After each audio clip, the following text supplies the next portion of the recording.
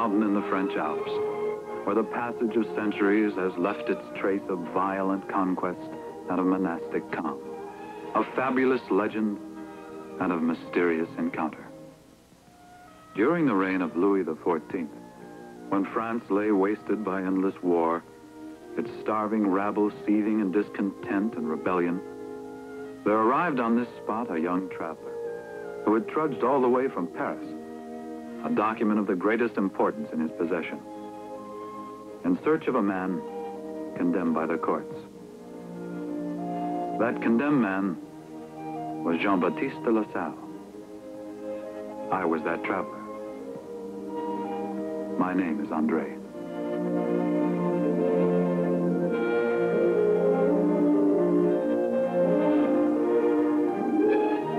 When my story begins, I was just another rogue among hundreds from the slums of Reims, where everyone knew hunger, ignorance, and despair.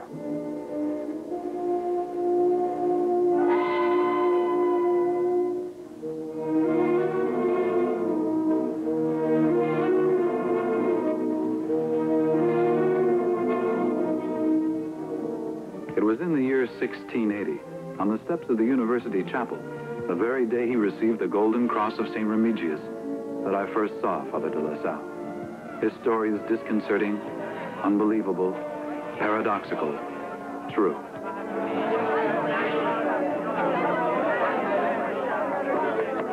me! Help me! Have pity on a cripple. Monsieur, in the name of Christian charity. Get away from me, you swine. It's my gold, not yours. Go on, get back. Filthy robbers, all of you. Thank you, Andre.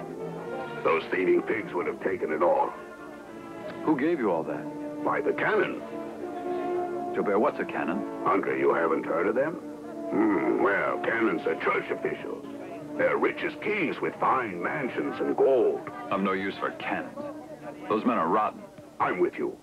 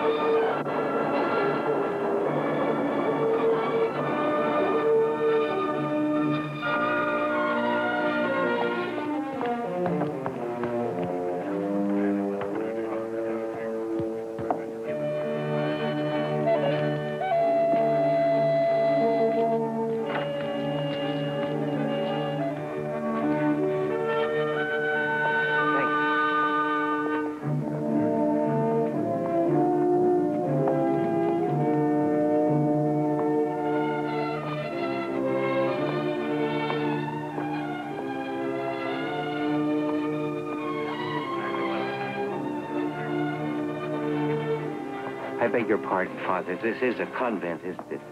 The convent of the infant Jesus, that's right. Thank you.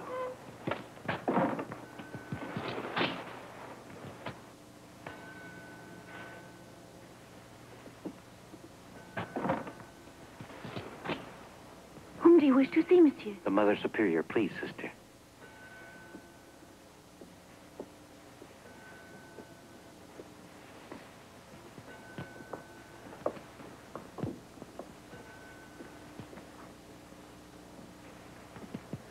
From Reims?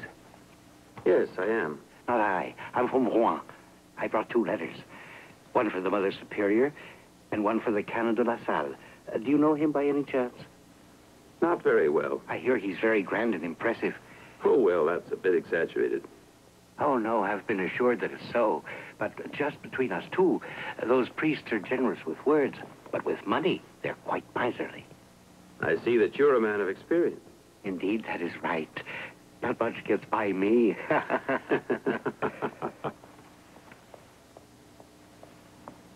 Ah, good morning, Monsieur de la Salle. so you are... You see, not very impressive. Oh, pardon me. May I present Monsieur Yes, my name's Adrien Niel. from Rouen? And not very much gets by him. He has two letters of introduction. One for you, Reverend Mother, and one for me. I'll wait in there if you like. No, please stay. What I have to say is no secret, nor unfortunately very flattering to me. The city denied our request. They say more important things are needed, such as aqueducts, markets, and public facilities. Yet our work is necessary, too. That may be true, but we can no longer deceive ourselves. Wealthy people don't wish their servants educated for fear they might not want to remain servants. Poor people need their children to help them, even though they may not know how to read. Schools are a luxury some people do not wish and others cannot afford. With no schools, what'll happen to our orphans here? They can only count on your devotion and my personal assistance, which is quite inadequate. What a shame we can't get the money we need. Yes, it is a shame. But let's not sadden our friend here. Sir, what can we do for you? There's nothing you can do now. What about your letters? They're useless now. They're from your aunt, Madame de Maillefer. Perhaps you've heard we've established a public school in Rouen. We thought you might be able to help us do the same thing in Reims. You obviously cannot. I suppose that I might as well leave. I suggest we go on talking, Monsieur Niel, About this? after I've read your letter. After all, it's addressed to me. Where are we going? Someplace where we can talk quietly. Ah, my coat of arms. This is my aunt's carriage. She absolutely insisted I bring it. She did well. If you didn't have a carriage, how could we get to my house? The two of us couldn't fit in the litter. Are you going to take me to your house, monsieur? Yes.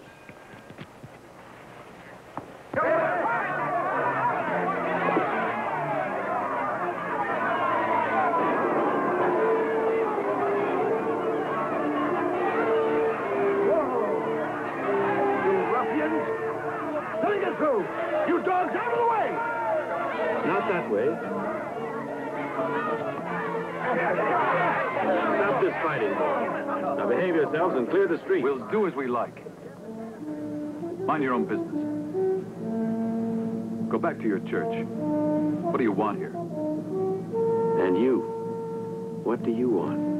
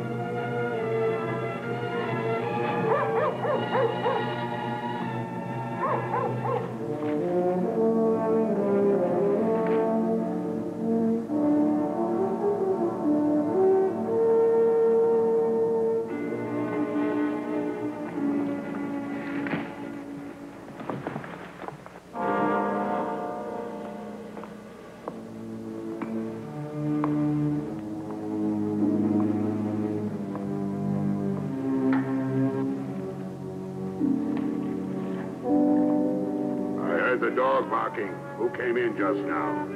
Not a soul who's worth that. It's the priest as I live and breathe. Hold your tongue, woman.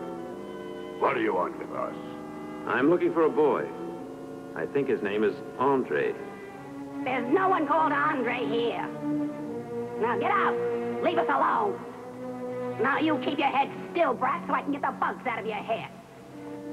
I said get out. Keep quiet, you.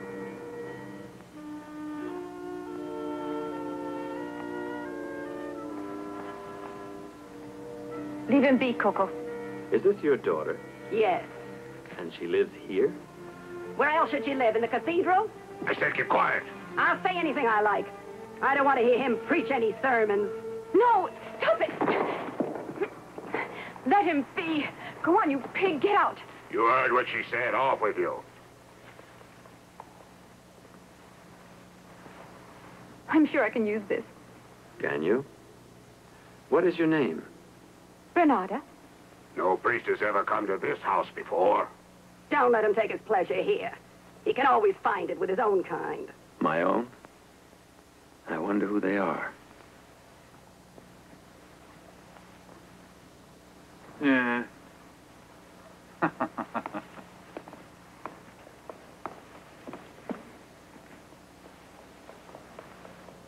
Andre's a smart boy. I'm sure he'll not get caught. You were away so long. What happened to you? Nothing. And yet quite a lot. Fate helped me to remember a lesson I'd forgotten. There's a misery much sadder than that which begs at the cathedral door. I think I may be able to help you, my friend.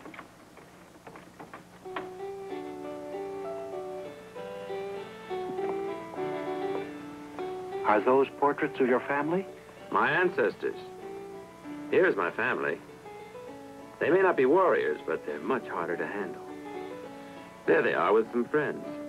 Please introduce yourself. I have an urgent matter to attend to. Consider yourself at home. Fetch Monsieur Niel's luggage. He'll be staying with us. Yes, monsieur. I'm sure you prefer that I stay at an inn at the address. Nonsense. I'll tell them to get your room ready. Now, if you'd like me to help you, do as I say. All right. Please go in.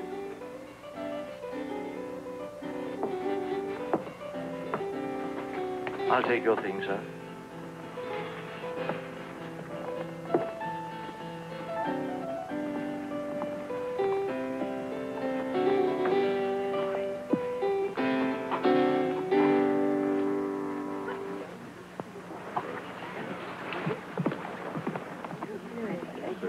You're our new coachman, aren't you? No, not I. Well, then, who are you? Uh, Adrien Niel of Rouen. I'm at your service. Then I suppose you're the cook my brother hired just the other day. No, I'm not the cook either. I'm a schoolmaster. Monsieur. Well, well, I see that you already introduced yourself. Yes, by profession. Before you go up to your room, come meet the rest of my family. Jean, may I ask you, Yes? is he staying here with us? Yes, he is. And just how long do you intend to lodge this guest in our house? Precisely until the day your older brother helps him open a school for poor children. Which is why he came here to rest.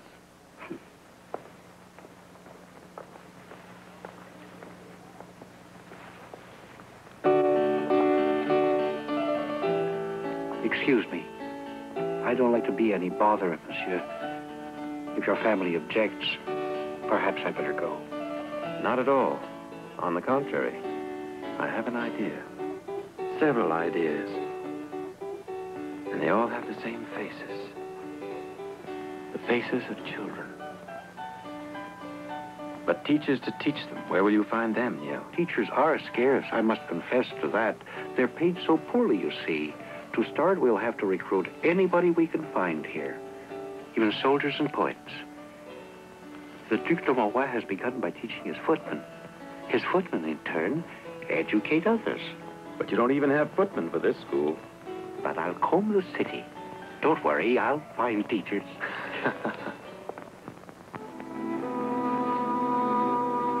May I?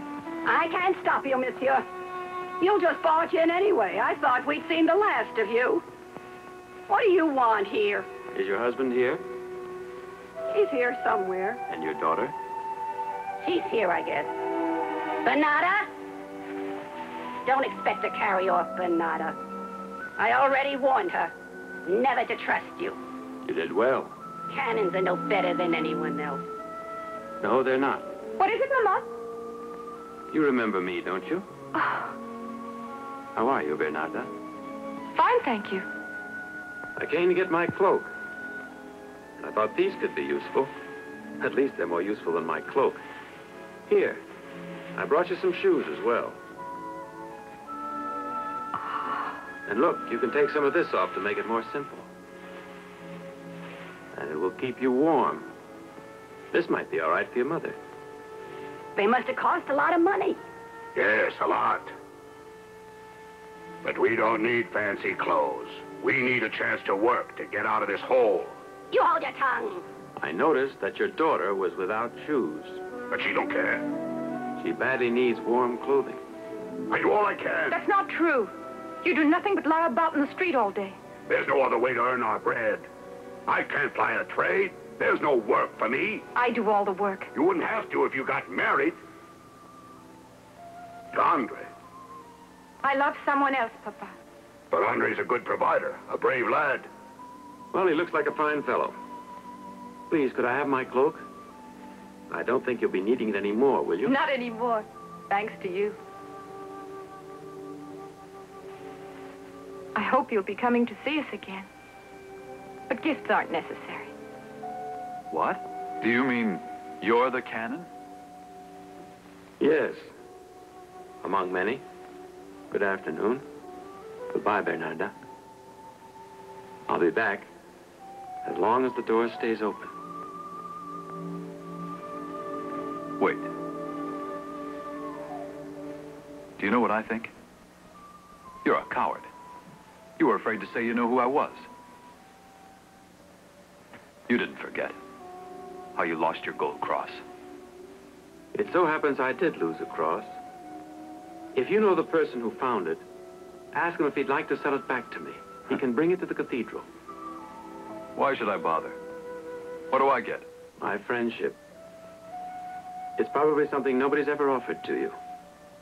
And it's worth a great deal more than this. Goodbye, Andre. No one's going to confess, eh? Very well. Then the innocent must suffer with the guilty. I will not have a thief living under my roof. You'll all be discharged indiscriminately, all of you. What's the matter? Some gowns and shoes of mine are missing. We're looking for the thief. You approve of that? Why, absolutely. Whoever took them must be turned out of this house. He must leave at once. Where are you going? What's the matter? I'm obeying our uncle. I'm leaving this house. What do you mean by that? I don't understand. Well, that I am your thief. Forgive my sister. You may go. Now, will you please explain? I took those clothes from your closet. You have so many. I gave them to someone who has nothing to wear. Were they too good to give away? Never mind, Jean. At least you took them for a good cause. Our family's been humiliated just the same. Heavens, Uncle, don't be so dramatic. I blame that rascal Niel. He's driven you utterly insane. Poor Niel. He can't even control his own teachers or make them follow a schedule, conform to discipline. Every morning he has to round them up all over the city. Actually, he's coming here to see me this evening. But why tonight, Jean? Why not? Surely you recall that we asked all of our friends here to a ball tonight. It'll be the most wonderful ball of the century.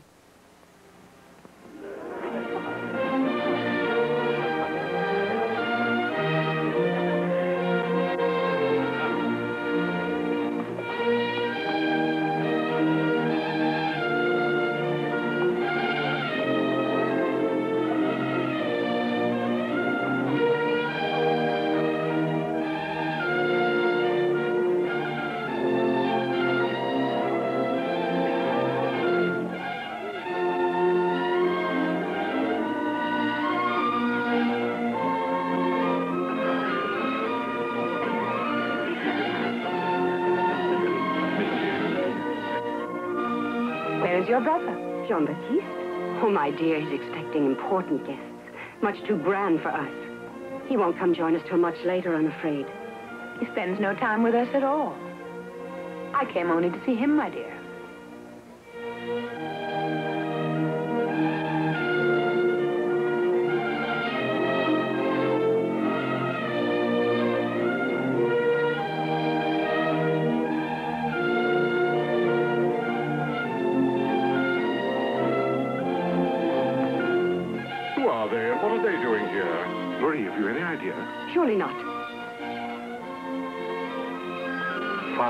Salle is expecting us. Forgive our intrusion. Uh, good evening. Follow me.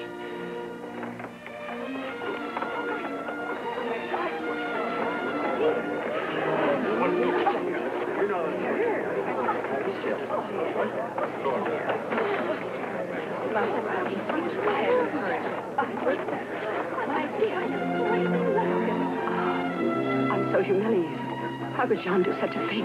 I just wonder what else he's up to. Father de La Salle, tonight we have come in full force. I'm afraid our appearance created quite a stir downstairs. I wouldn't be surprised. There are so few teachers here in Reims. Welcome. Shall we start with you? And do you know how to teach? Maybe. Put me to the test. Are you able to teach? Well, I hope I can. They need training, you see. We'll make good teachers if you'll be willing to assist us. I will supervise them, Father. Come, tell me about your problem. It would be best if I could train them together, monsieur. I think they should live in one house by themselves. Do you know a place where they might stay? Why, yes. Then tell me where we can lodge our school masters. Here. But your family, they'll object to it. These are also my brothers.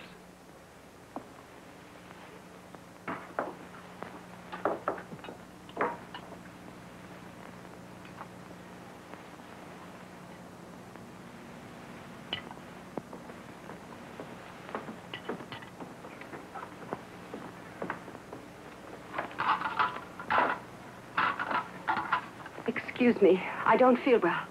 I'll see you to your room. Do you care to leave with us, Louis? No, I'm still eating dinner. Come with us. I want my dessert. But Rene has had enough, I'm sure.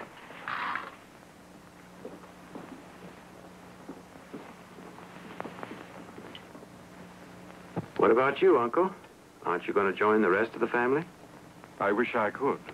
What I'm going. You? Why? I won't be humiliated. You dare be so impertinent? I. Just a moment. You're right, Monsieur Vuillard. I apologize for my family. What's the matter? Aren't you hungry? Or were you thinking of someone else? yes, I am. Until tonight, my friends. Now for some teaching. Only teach them something better than what you learned here today. Marvelous teachers. I'd hate to be their student. Give them time. Niel will train them. I rather doubt it. The last six days, Niel hasn't been near his schoolmasters. They teach by themselves now. That's at least some progress. Now, five times five is? Five, the two, and the five in the order they arrive. Monsieur? Yes, yes.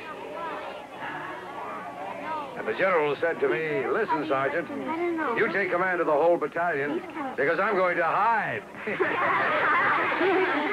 Dominus, Dominus, Dominus, no. The declension is Domine, Domini, Dominum. Don't you want to learn Latin? And why not? What good is it, monsieur? I'll explain once again. Learning Latin is really the most important part. You mean Monsieur Niel is planning to leave? Yes, he is. He sows the seed but cannot wait for the harvest. Niel's a traitor. He's just a dreamer. When Niel goes, who will run the school? We need a supervisor.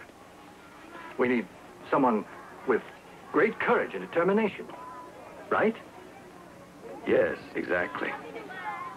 Someone who will devote himself entirely to our work without seeking compensation. But who will be willing to shoulder such a burden? Must we go, Father de La Salle? We'd like to stay a while longer. Well, now, boys, school is out. Here now, button up. One, two. Better? One, two, one, What's two, that? one, two, one, two, one, two, one, two, one, two. Wha- Huh? Now, who told you to march like little soldiers? No, walk naturally. Naturally. Your Reverence, since Niel has left, my nephew has done nothing but attend to affairs of this school. Yes, I'm aware of this.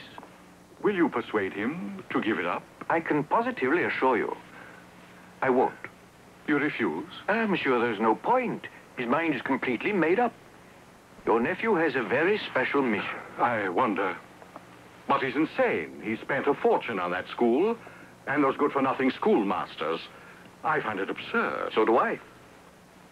But this new school is quite amazing. Also, I think it likely that this absurd institution, as you say, will gain the recognition of his eminence. No. Indeed, and surprising as it sounds to you, he might call him to Paris. A pretty sight they'd make in Paris, my nephew and those lunatics. Our situation hasn't improved at all since Niel went away. That's not true. But it is. I was happier before, when we did as we liked. We taught without methods or discipline, men. You can't deny that in six months, LaSalle has helped us get organized. A new problem has arisen. What? Monsieur de La Salle has been criticized by everyone. His friends and family are all opposed to our work. But he still spends his days here in school. And what if his money runs out? Maybe he'll decide the school costs too much and we'll all get dismissed. And then where'll we be? Hmm. LaSalle could shut down the school at any time. He has no obligation to us at all. That's ridiculous. Monsieur de La Salle would never abandon the school. Never. I will never close the doors of this house, even though I'm not the one who opened them. We gain nothing, monsieur, by staying. It seems we've all been enlisted in the wrong outfit. How have I failed you? I've offered you my own home, my own table. We can't stay here much longer, you know, with your family. Then we'll open more schools, where there'll be room for everybody. What about you, Vuillard? What are you thinking? That I am not Monsieur de La Salle, only Nicholas Vuillard. If our work fails, I'll have to beg in the streets, whereas you... While I go on as wealthy as ever. With my canonship, my coat of arms, my palace, and my family. Is that what you mean? I think we all do, monsieur. Not I. Thank you, Pierre. But they're right. No, not in the least. Vuillard sees things as they are. But I'll go ask someone who's never wrong.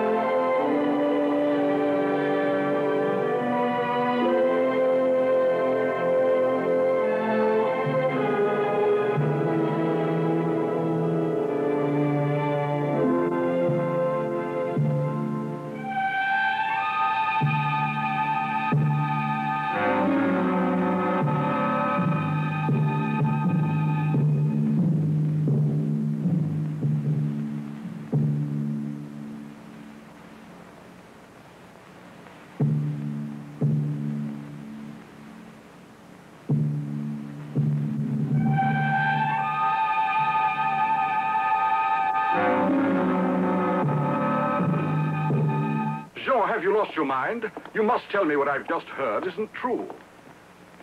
And what have you just heard? That you've given up your canonship. Oh, yes. And I'm giving all this up as well. Then it is the truth. I divided everything into equal shares among the family. This house was my share. I don't really need it, so I decided to sell it. Your ancestors built this house. Oh, I don't think they'll mind. Their descendants mind. Have you considered them? Have they all gone? Not all, Jean. I want to be with you. And Marie? Why, she's been crying, Jean. Yes, well, Marie seems to be crying to a certain musical accompaniment. What about you, Uncle? You feel like crying? Jean-Baptiste. But what will you do with the money you still have? Our work needs it. For the poor.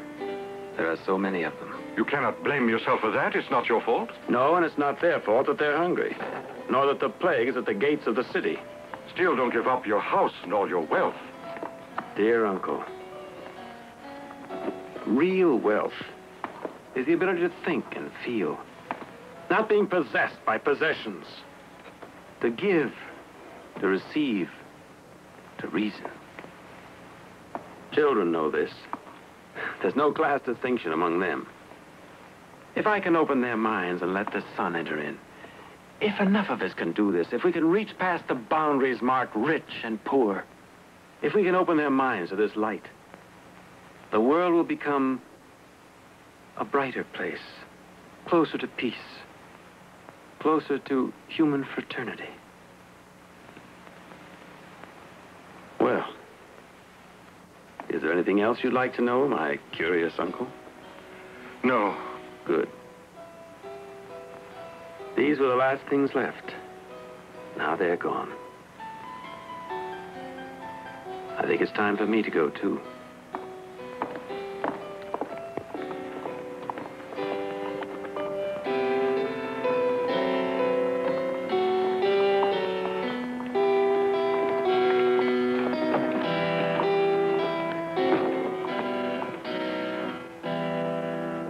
Do you hate me, too? This is really yours. It's my last gift to you. Goodbye, Marie.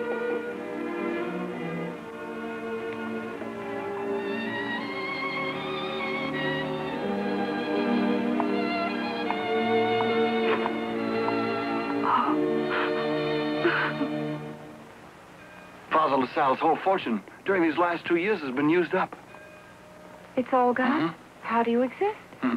We all live on nothing, How did the money all go? getting food for the needy. The plague is still upon us. Food and supplies can scarcely reach the town. War is breaking out. But we've managed to keep the school open through hard work. Whose work? Oh, Monsieur de La Salle's. But we've helped. Still teaching the children? Yes, and distributing bread every day, as long as it lasts, that is. No, no more. Save this. I'm dying of hunger. Give me my bread. No, no. Here, old man. There's none left. There's no more.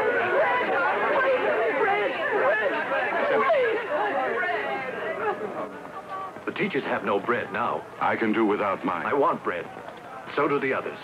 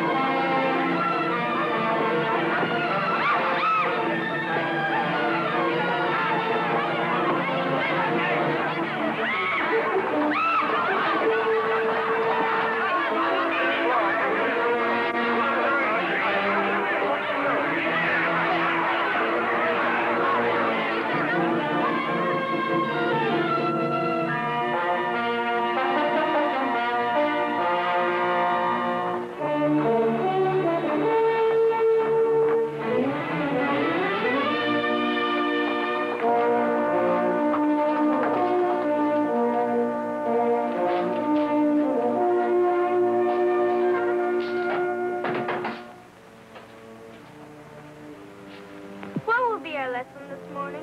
Are you going to teach the class, Father de la Salle? Why didn't Monsieur Bartolome come today? Your teacher, Monsieur Bartholomew, is ill. I don't know what lesson you're supposed to have today, but ask me what you'd like to know, and I shall try to answer. What would you like to ask? Why don't the teachers let us have a little fun in class? I'll see to that. We need laughter as much as we do bread. Yes, I was wondering, tomorrow will we get anything to eat? I was wondering the same thing. Look, Father de la Salle, the wind has blown the door shut. Then I'll go open it. The doors of this school must always be open wide.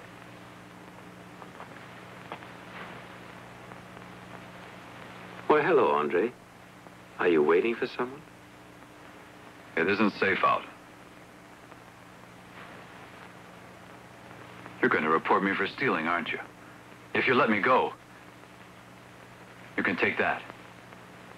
I don't need it. Huh. Don't you want bread? I told you I don't need it. I can rely on someone who never fails me.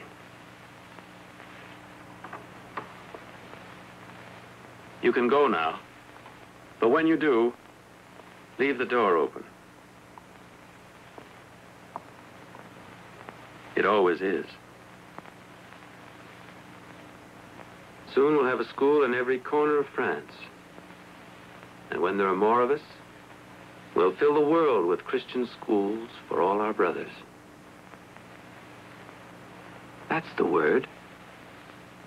Brothers. Brothers of the Christian schools. We'll wear our own habit. We'll take a vow of obedience. Later on, a vow of poverty and chastity. May I speak? Please do, Ravaillac. About this vow of poverty. Must our life always be like this? I've been so poor all my life. I wanted to improve my lot. So did I. You see what we mean. We came here to become teachers, not martyrs. This morning, you gave our bread to beggars in the street. They need it. You gave us nothing. That's true. But it's all I can offer you. We can't survive like this. Everyone agrees with me. Speak, you cowards. When he's not with us, you're free enough with your words. Why squabble? We'd rather go. Come on. It's about time we pulled up camp. Bye, monsieur. This isn't a rebellion, but we're worried about our future here. Please understand. I do understand. And anyone who wants to can come back tomorrow. I'll wait for you.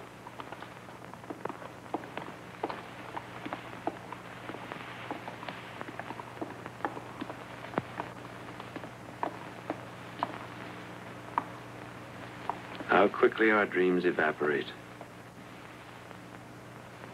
Now you're the only one left. I'd stay, but... But I have Bernarda to think of. I... You don't have to stay anymore. I understand she needs you more than I do. They'll be back tomorrow. I'm sure. But you won't. And don't change your mind. I like men who keep their word. Goodbye, Pierre. And thank you.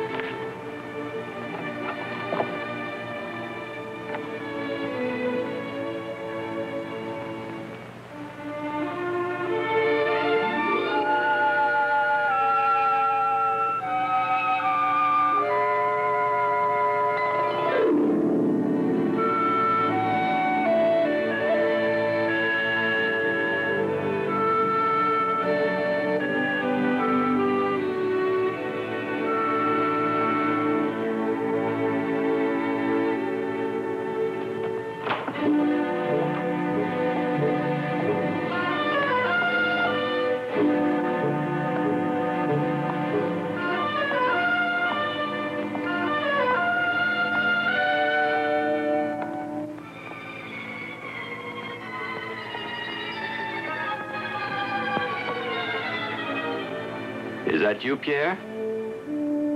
Who are you?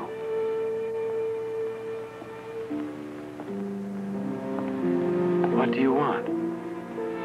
I've come to stay and be one of you. I want to be a teacher. You come too late. Don't you need more teachers? I have no money to pay you or food for you to eat. That doesn't matter. Who are you?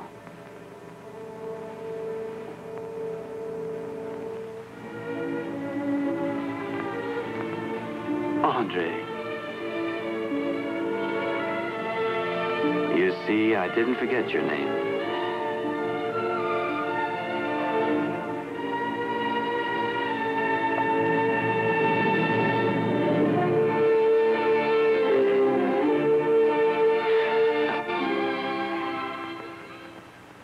I've lost this game. The hostess always wins the play. Why else do you suppose I ask you here? Antoinette! Please come to the window a minute. The schoolmasters, Antoinette, are wearing their new habits. La Salle's teachers, you mean? You must have heard the church has given them her official blessing. And the Duc de Mazarin has recently contributed an enormous endowment. Your son is one of their pupils, isn't he, Antoinette? Yes, they're the finest teachers in Rheims. But how funny they look in their clumsy boots and unbecoming hats. They dress like peasants. They hardly dress to please ladies of society, like you, dear. They're teachers, mind you. Are there many of them?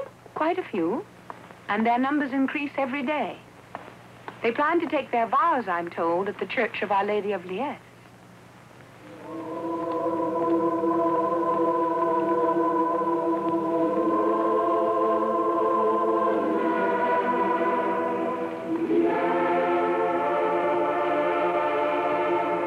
At the shrine of Our Lady of Joy, we vowed fidelity to him and to a common ideal, even should we be obliged to live on bread alone to see it through.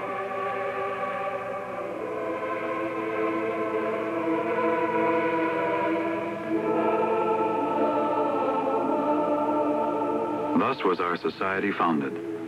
The Brothers of the Christian Schools, the first order of laymen ever to bind themselves together to be teachers. Not monks, not priests, just educators. Then May came to Champagne, bringing new life and hope, as it had brought Father de la Salle new helpers. Not poor mercenaries hungering for his wealth, but wealthy men seeking to share his poverty. For now he had nothing left to offer anyone, except the challenge of this wondrous new venture. And so Father de la Salle, Brother Voyan, and I set off for Paris.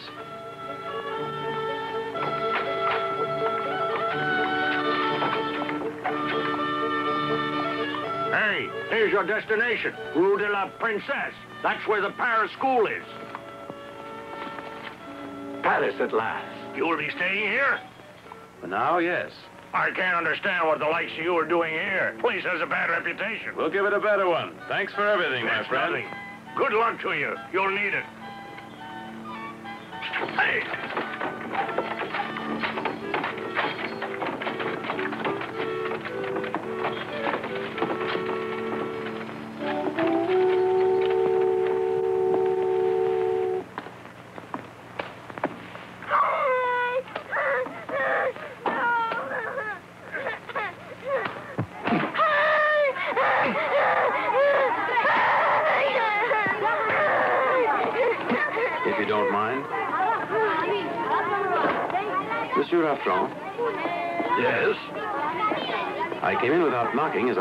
heard someone crying. As you see, it's nothing. Flogging, that's all. And this child is nothing. He's lazy. Well, he hasn't been studying his Latin. Maybe you don't know how to approach him. Go sit down. No one will hurt you. Are you a teacher? Oh, I beg your pardon. I didn't introduce myself. Are you Father de la Salle by any chance? Our superior told me you'd be here. I'd be most delighted to show you our school. Thank you. Tell me, what sort of schedule do you follow here? What schedule? Mm-hmm. Well, the students come to school when they like. When they're tired, we send them away. Quite a schedule. And you teach them one by one. Why, naturally. And while you teach one of them, the others have a good time. Why not? What's this? I see. Gambling. How's their writing? I don't know. The guild of Master Calligraphers has expressly forbidden us to teach handwriting. Each particular guild teaches its own special skills. and so, you see, the Master Calligraphers can't teach reading. Are these all the children? Oh, there are many others. These lads you see here are waiting their turn at the hand looms. All our students will learn a useful trade. If you'll step this way, I'll show you the more practical side of their education. Here, uh, they can work while waiting their turn for their lessons. Are they paid for their work? Well, we usually sell what they make here. Still, once we deduct our fee and the school's expenses... I see, uh, Monsieur Raffron. We depend on this income. I'm sure. Because the children's education is free. Of course. Well, in a manner of speaking, I mean, uh, what the children here pay is only five francs I apiece. see. And that's what you call free education. This was approved by the Guild of Master Calligraphers. Their authority's final. I'm sure it is. Yes, I'm sure you don't intend to challenge their authority, Monsieur de la Salle. I hope you haven't come as an enemy. Whose enemy? I'm no one's enemy. But I am the children's friend. At Vaugirard, on the outskirts of Paris, we went to work to open our novitiate, using an endowment we had received from the Duc de Mazarin. Be careful you don't fall. you don't have to be concerned. I used to run across the roofs when the gendarmes were chasing me. At this time, Brother Vouillard persuaded Father de La Salle to lend 4,000 francs of our endowment to a clergyman named Clement, who wished to establish a training college for teachers. We were later to learn to our surprise that Brother Vouillard had secretly left our order to become director of the college.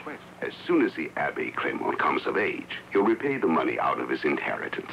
It has been agreed you'll use the money to purchase a house where you plan to establish a school, monsieur. We'll conclude the transaction if you'll please sign this receipt. The Abbe Clement, as a minor, can sign this receipt, but not the deed of purchase for the house. Monsieur Rogier, so I'm told, is a trusted friend of your superior? Absolutely. May I request, please, that he sign those papers for me? Don't worry, I'd be happy to. My name will be on the deed of purchase, but the house will still belong to Monsieur Clement. As it says right here, lesson three of courtesy and good manners. Fifth rule of polite society. Never explore your nostrils in the presence of or behind the backs of persons of good breeding. What if my nose itches? Gentlemen, this maniac LaSalle is a threat to us and to our guild. He is bent on usurping our authority in the schools. He's replacing our system with a method that's entirely his own. Do you know that he's teaching the students all together instead of one by one? And he doesn't allow flogging either. Teaching without whipping? It can't be done. The students keep all they earn, so we lose the extra income. He's insane. This man must be driven out. We have talked to government officials. They flatly refuse to do anything. What more can be done? Stop that man and don't hesitate to use any method. It is necessary to act swiftly, and it is up to us to take the appropriate measures. Get rid of Calm down. Can't we discuss this rationally? No discussion is necessary. We need action. He's right, sir.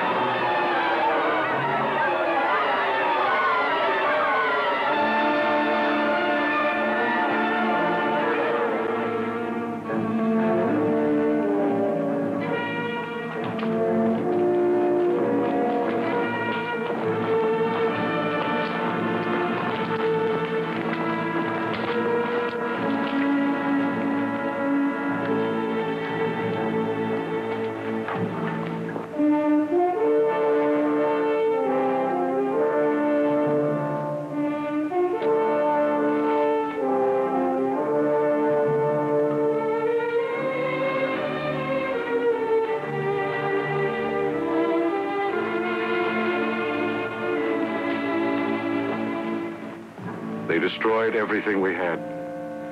All we owned went up in flames. All but that cross. A sign we should go on fighting.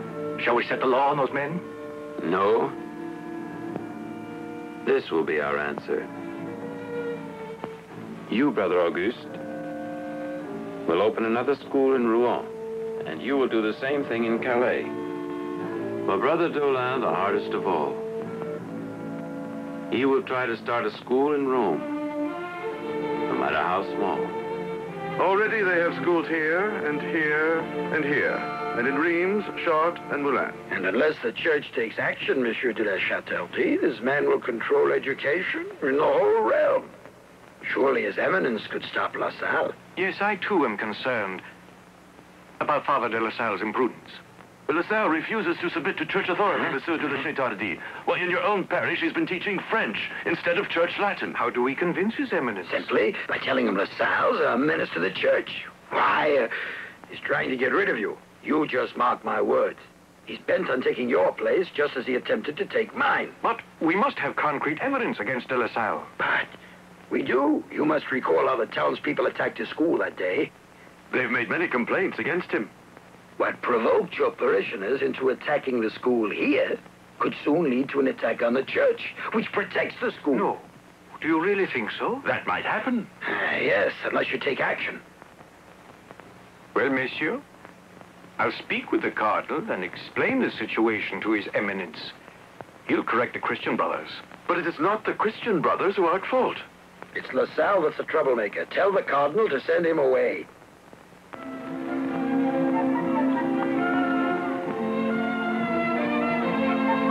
Brother Bartolome? Yes? Your pardon, the coach of the Vicar General has just drawn up to our gate. Do you know why he's come? No, brother, I don't know. I bet I know why. He's finally here to pay his respects to Father de La Salle. He surely took his time. Coming, I mean. Please, Brother Andre.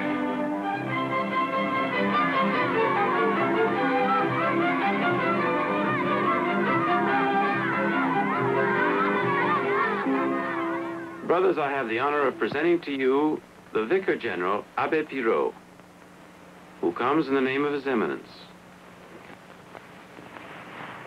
How blessed are the ways of Christianity. Brothers of the Christian schools, Father de La Salle was chosen by God to undertake this important work. He renounced all he possessed to dedicate his entire being to the education of children, supporting with heroism disappointments and sacrifices.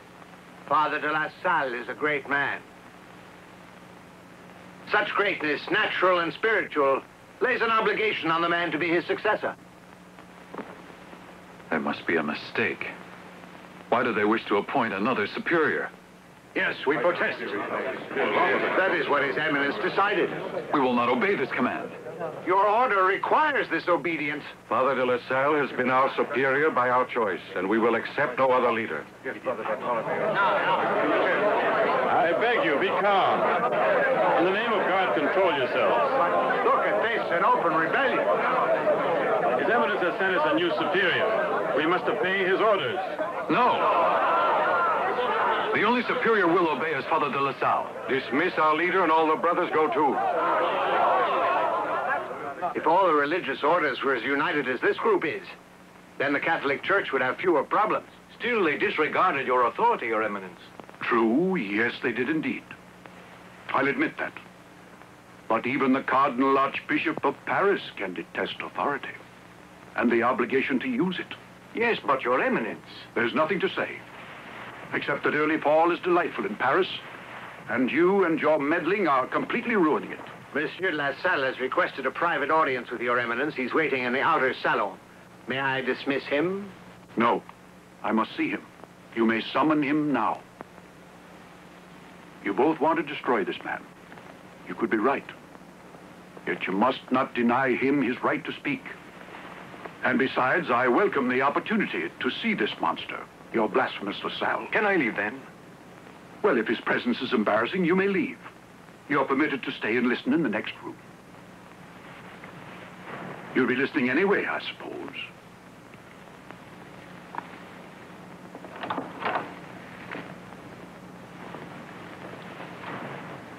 Show in LaSalle.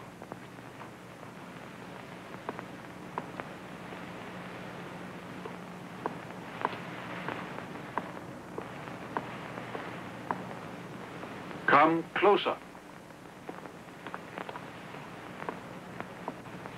You requested an audience with me. Why? To ask your forgiveness for not having been able to discipline my brothers. I consider that rather strange since your field is education. Do you realize the trouble you've been causing here in Paris and everywhere else you've been? Yes, I do, Your Eminence. Why do you feel the need to reform our schools? The methods of teaching you oppose have served us well during the last ten decades. There is no reason to change. Your Eminence, if we do not change ourselves, others will do it for us. That's possible. But you have decided that no ordained priest can join your order. Yes, Your Eminence, and I also explained why. The brothers are educators, not priests. Do you know what this will do? Not yet, Your Eminence. It will expel you from my see. I had to sign this order. And now, Monsieur de la Salle, have you anything more to say? Only that I regret being responsible for the disgust you must have felt when you signed it. And nothing else? Nothing. As long as our work goes on, it doesn't matter where I am. I can find God any place. When shall I go? I expect you might first wish to settle your affairs. I only need a few minutes. I have no baggage. May I leave now?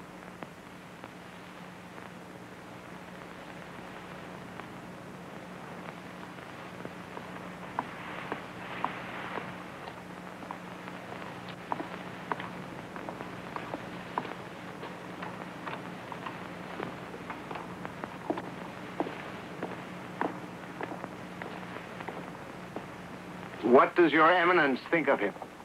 He's no man to take lightly. I quite comprehend your concern. But now... But now, your eminence? I'm sure an enemy so damaging to you, we'd best not let out of our sight.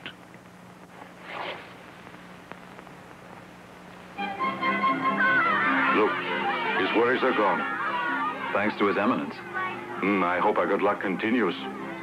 Has there been any news of Brother Villard? Why, not since he left with the Abbe Clement. I see, but I'm afraid we need his help at the moment. He loaned some of our money to the Abbe Clement, who hasn't given it back. If there's been any duplicity, I'll make Villon answer. No, no, no, no. It'll be all right.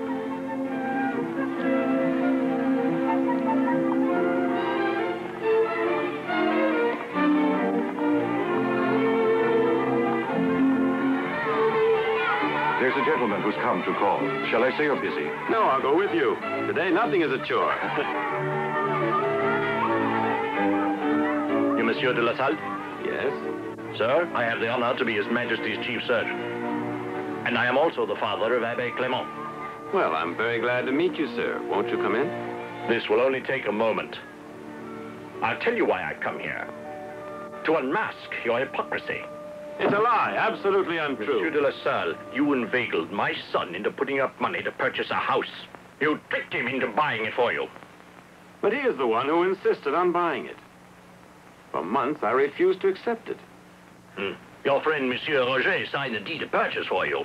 I do not even deal with him. Admit it. Never. And I know nothing about this negotiation. Brother Villard took care of it on my behalf. The brothers loaned your son that money. He signed a receipt. A falsification. Or some scheme of yours. I suspect that my son got tricked into signing that. Sir, please don't go on insulting me. Simply bring your son here. He will not be able to deny what I've told you. He's gone away. He fled abroad for fear of your reprisals. He cannot afford to lose the money you shamefully stole from him. Nor can we afford to lose the money we've given him. It's not ours. It was to serve a sacred cause. By God, what lies! The money belongs to him. Monsieur de la Salle, if you don't pay it back, you'll answer for this treachery in a court of law. Pardon the delay, but Monsieur Villard is quite busy at the moment. But he will be here shortly. Did you tell him who we are? Perhaps you'd better. Monsieur Villard knows you are here. Maybe he doesn't want to see us. Yes, so it appears. Well, I'm glad Father de La Salle was too sick to come here. My brother. what I really meant was it's good we came instead. So sorry I kept you waiting. Ah, you come on business, gentlemen? Brother Villard, I'm amazed. I insist that you not call me Brother Villard, since I am no longer a member of your order. Obviously. But I'm shocked at your appearance.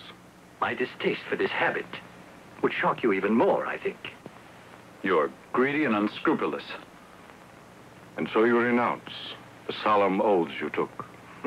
Obedience and poverty never quite appealed to me. But you swore. That means nothing. We came to speak to you about other matters, however. The Abbe Clement. Oh, ah, oh, ah, that's what concerns you.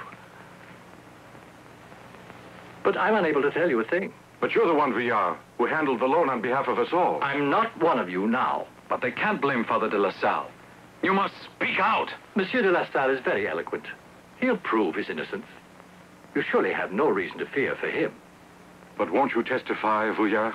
The father of Clément is esteemed by the entire court, indeed. He has much influence with the king. I can't help you without also jeopardizing my position. Clement could ruin me if I testified against him. Then you'll not. No, I regret to say. Please excuse me now. There are other matters I must attend to. Good day.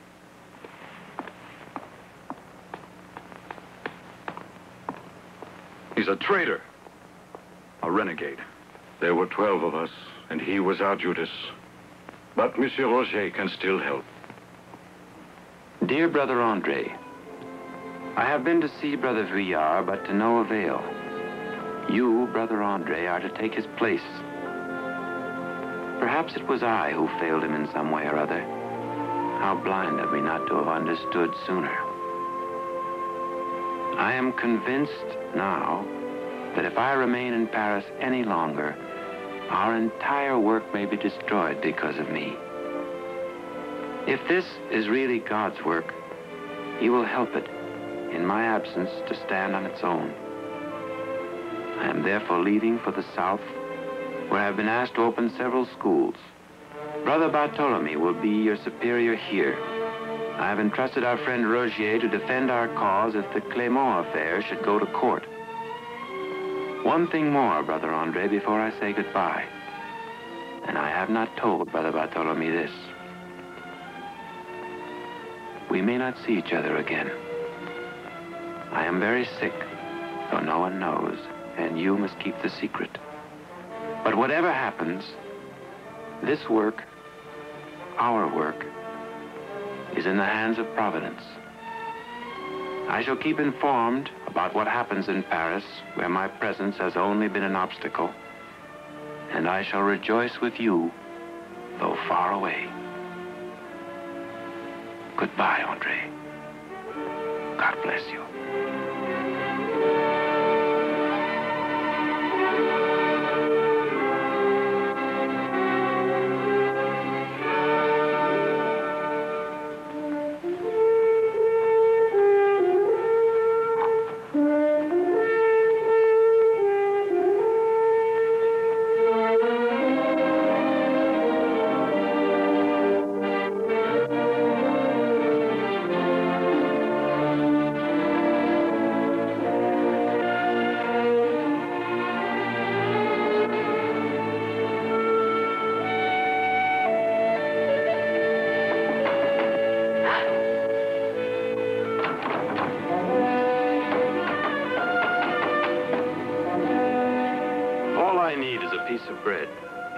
Give him some bread, Jean.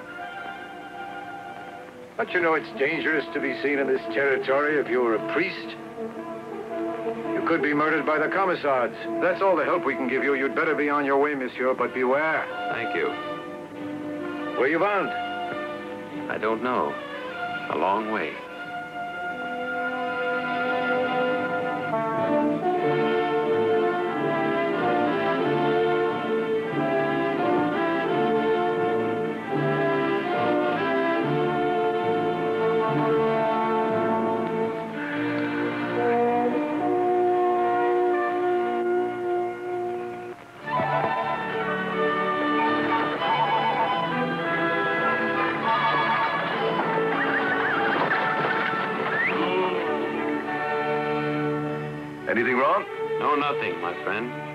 Which way are you going? Du Monde. I'll take you there. I can't pay you. I don't want you to pay. Climb up. Yeah,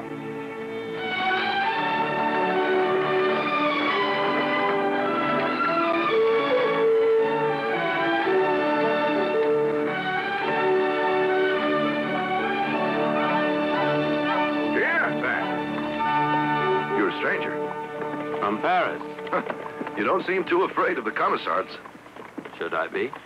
Well, I can tell you're not a priest. The Camisards scare them away. They just look at a priest and go crazy. They turn as crimson as their shirts. Red shirts? Their hearts are black, but their shirts are red. Monsieur, look. They passed this way. They've been terrorizing the countryside, looting and killing. That's their kind of rebellion. But they're murderers. Well, I know, but up until now, they were granted the freedom to practice their own religion. I know. By the Edict of Nantes.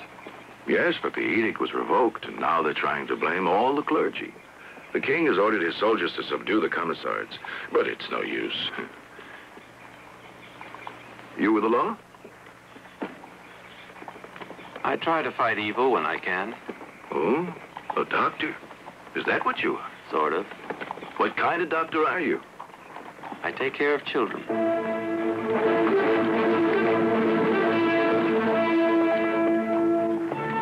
there are the Camisards. I've been expecting them.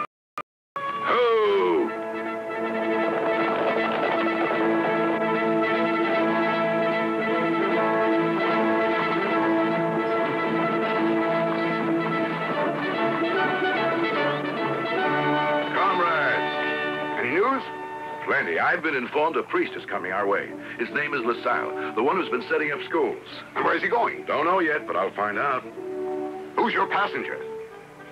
Monsieur, here's a doctor from Paris. Does he look like a priest? well, he seems all right. Take him along with you, Fontel. Right.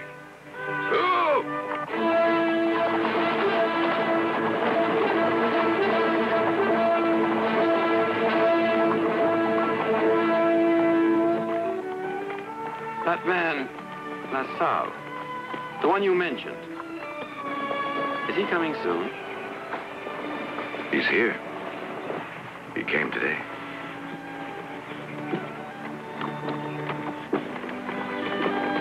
Where did you know me? How do you know who I am? It's a secret, Monsieur LaSalle.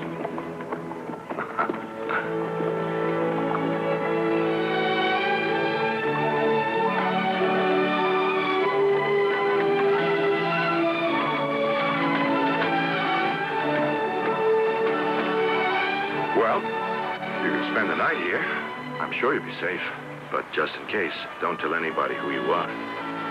Thank you, Monsieur Fontaine. What can I offer you? Not a thing. I'm not Fontaine. I'm Colonel Dupont.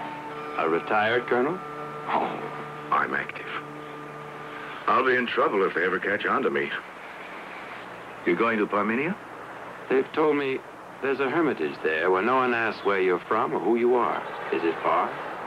Oh, ten leagues. Take a shepherd boy as a guide. Well, Monsieur de La Salle, good luck. God be with you, Colonel Dupont. And thank you in the name of all foolhardy travelers. Goodbye. Get up! Come on, get up!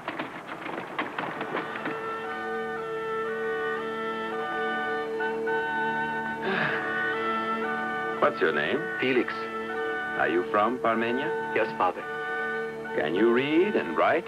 Why, no, Father. But I know how to tell when there'll be rain in the valley and how to catch rabbits for supper. And what do you do in Parmenia? Tend the sheep and keep the wolves away. Why do you walk so fast? I suppose I walk fast because my legs are so long. But why walk fast if I'm not going anywhere?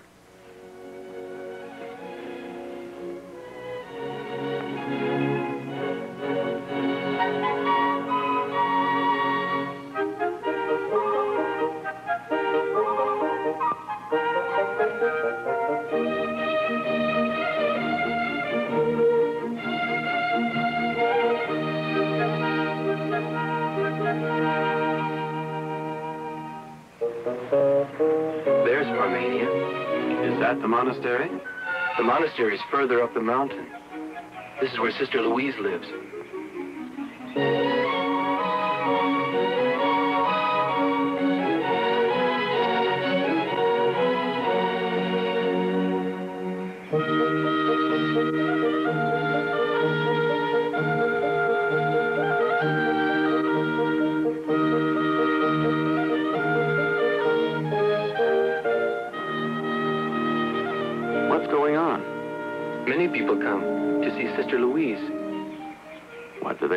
To eat.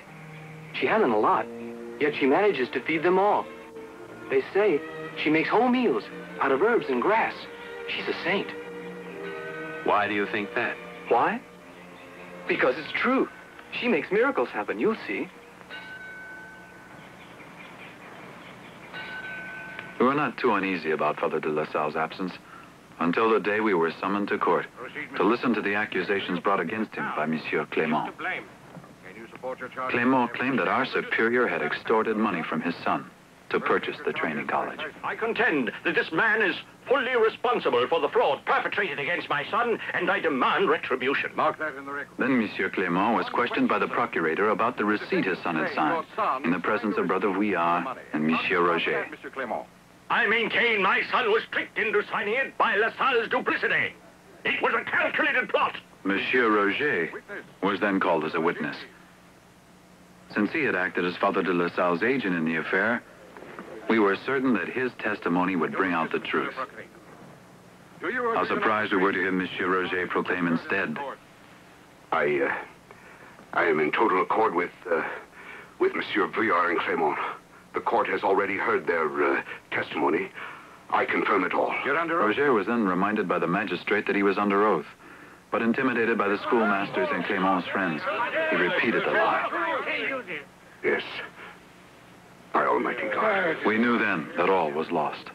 And consequently, this tribunal finds Jean-Baptiste de La Salle, so-called superior of the Brothers of the Christian Schools, guilty of influencing a minor under the law for his own gain and profit. Said Jean-Baptiste de La Salle must now pay Monsieur l'Abbé Clement After the trial, our situation in Paris became very critical, and the church authorities even threatened to dissolve our order. It was therefore decided that I should go in search of Father de La Salle and bring him back to Paris. Come in. Brother Bartolome? Your disguise is excellent, Brother Andre. You will need it when traveling through Camisard country in the south. Be very careful. Here is the letter we drew up this afternoon and a complete record of the lawsuit. It is for him. And here is some money. Almost nothing I know in view of the long journey ahead of you, but we have very little left after paying Abbe Clément. Don't worry. It'll be enough. Goodbye, Brother Bartolome. Oh, one thing more. Above all, do not lose courage, no matter what happens, or how long it takes. You must find him. The life of our society is in your hands. With the help of God, I'm sure I can bring him back.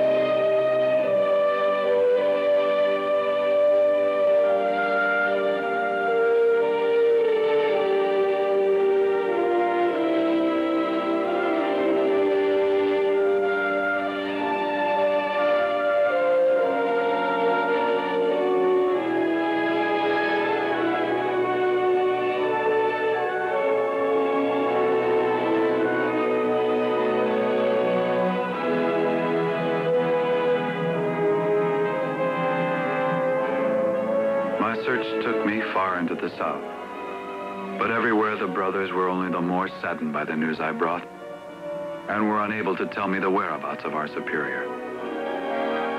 I trudged on, sometimes hopefully, but more often with a heavy heart.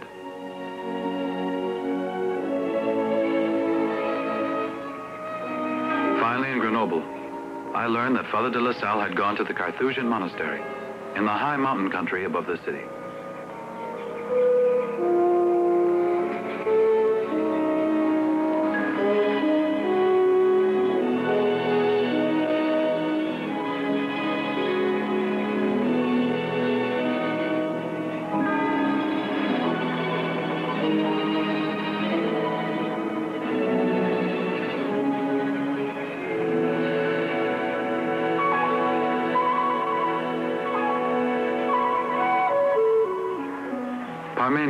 Told me. Yes, Parmenia. Only a day's journey.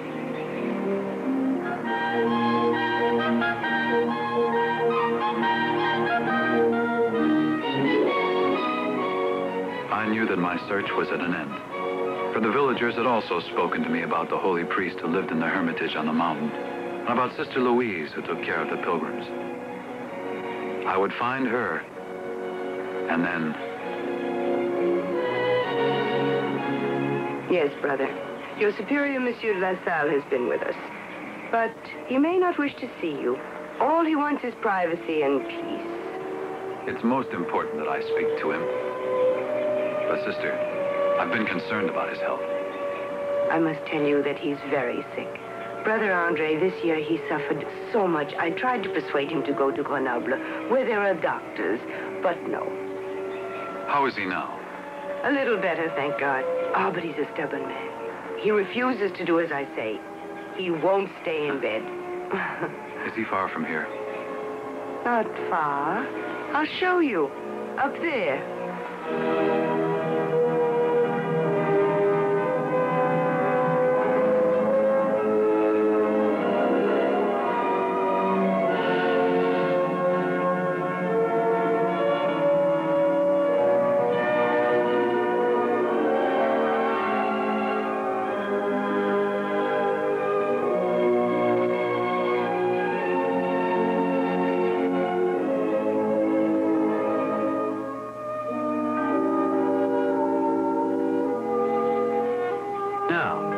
Andre, what's happened? Tell me what's the matter. Our community in Paris is in serious trouble. Ecclesiastical authorities want to revise the rules of the Brotherhood. But they wouldn't dare. They say if we resist any of their changes, they'll dissolve the order. What? Just when we're ready to extend our work, to build schools in every corner of the world. Yes, I know. And now the very existence of our order is at stake. We need your counsel, Father. Come back to us. Only you can help us now. I can't. I mustn't go back.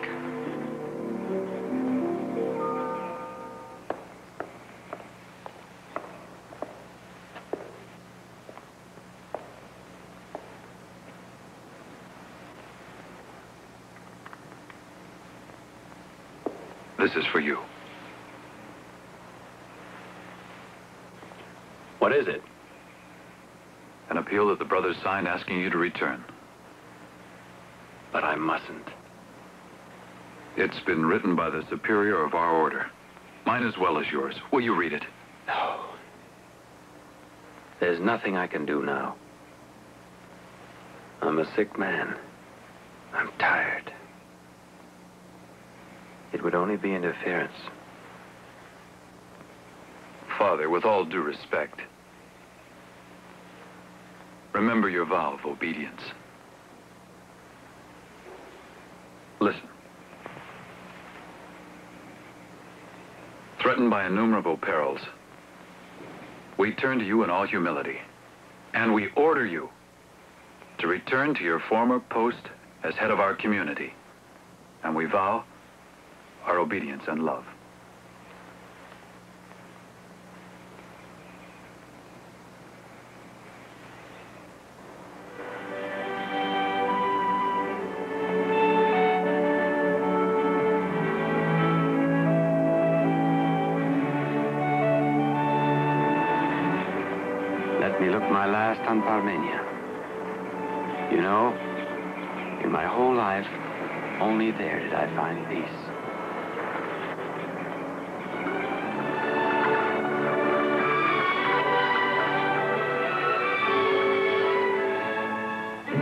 Father de La Salle soon overcame all the dangers that had threatened our society. That is, all save one. The danger we dreaded most. But why so soon? Or does it only seem that way to me? Answer me. We don't understand what you mean. Yes, you do. There are so many projects I would like to have seen realized. So much still to do. So much scarcely begun. That's true. But we don't know how to go on. Of course you do. But there are so few of you. We'll always have enough students. But teachers, real teachers, The kind I've dreamt of. How difficult they are to find. I've used up my life searching for them. We've 30 schools established now. Hmm. Thirty drops of water in the desert. But they're valuable. And you all will achieve what I couldn't. Thousands of schools. All over the world. We'll do it, I know. But not without you. With me or without me, remain as united as you are now, even more than now. When I am no longer with you, will you promise me that? We promise. But you're tired now. You should be in bed as the doctor ordered. You need rest if you're to get better.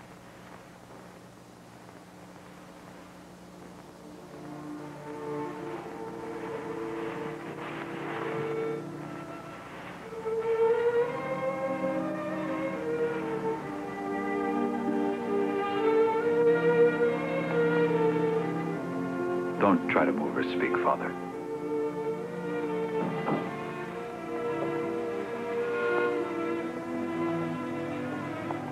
I've come to tell you that another novice has joined us. One more. He comes to replace someone. Why are you all here? Have you left the children all alone? It's, it's their recreation hour. I don't hear them. We ask the students to please be silent. Let them play as they always do. I want to hear them.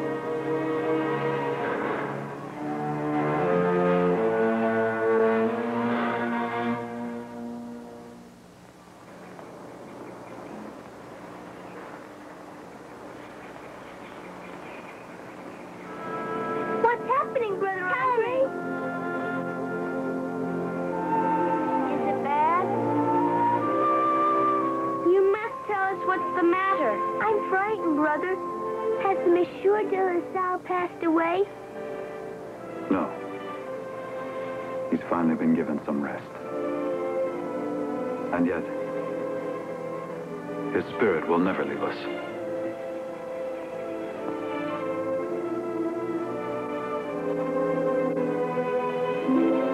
Real wealth is the ability to think and to feel. Not to be possessed by possessions, to give, to receive, to reason,